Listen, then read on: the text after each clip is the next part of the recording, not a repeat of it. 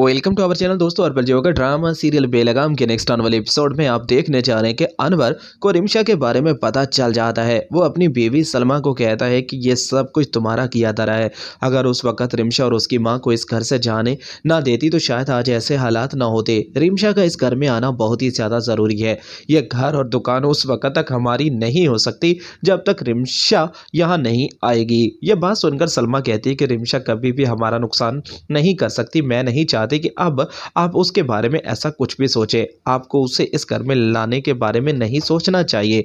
अनवर कहता है कि वो मेरी इज़्ज़त के साथ खेल चुकी है। जितनी जिल्लत मुझे उसकी वजह से बर्दाश्त करनी पड़ी, मैं उसे इतने सुकून से नहीं रहने दूँगा। मैं उसे इस घर में लेकर आऊँगा। ये बात सुनकर सलमा कहती है कि मैं इस बार रिमशा के साथ किसी किस्म की ज़्यादा होने नहीं दूँगी। मैं तुम्हें कह रही हूँ ना कि अब तुम उसके बारे में सोचना छोड़ दो। अनवर कहता है कि जो भी है, लेकिन रिमशा के बारे में मुझे सब कुछ पता चल चुका है। मैं रिमशा को अब इस घर में लेकर आऊँगा। लेकिन अरबा को सलमा साफ़ इनकार कर देती है कि तुम अब वैसा वैसा कुछ भी नहीं करोगे। अब उस लड़की को सुकून से रहने दो। मैं नहीं चाहती कि उसके साथ ऐसा कुछ भी गलत हो। बस आप अब उसको उसके हाल पर छोड़ दो।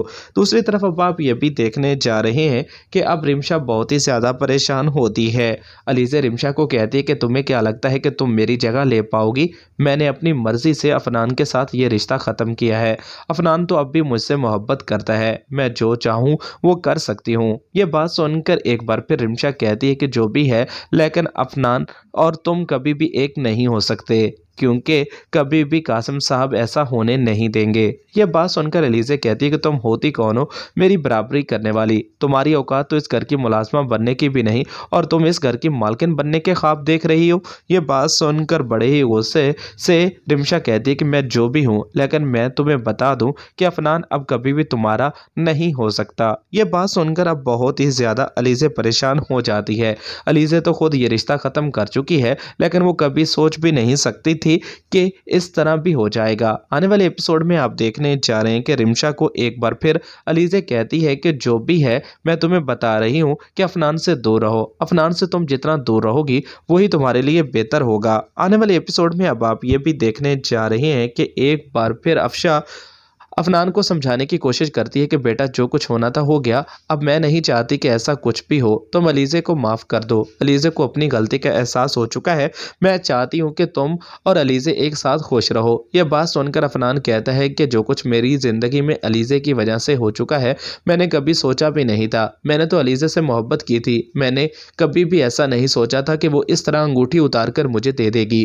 बेटा वो उसकी गलती थी। उसे अपनी गलती का एहसास हो चुका है। मैं नहीं चाहती कि अब मज़ीद ऐसी कोई भी बात हो, खुदा के लिए तुम उसे माफ़ कर दो, उसे अपना लो। अफनान कहता है कि अलीज़े, खुद ही जब मुझसे किसी किस्म का कोई तलक नहीं रखना चाहती तो मैं उसे मजबूर कैसे कर सकता हूँ? अफशा कहती है कि भाई साहब को पता नहीं क्या हो गया आखिर उस लड़की ने ऐसा कौन सा जादू कर दिया है? हर वक्त उसी के बारे में सोचते रहते हैं। रिमशा का इस घर से चले जाना ही बेहतर है। अफनान कहता है कि रिमशा का अब इस घर से जाना इतना आसान नहीं है। मुझे नहीं लगता कि बाबा कभी भी उसे इस घर से जाने देंगे। वो जो कुछ कर रहे हैं, सिर्फ़ और सिर्फ़ उसी रिमशा के लिए ही तो कर रहे हैं। वो अपना फैसला सुना चुके हैं कि मुझे हर कीमत पर उसी से शादी करनी है।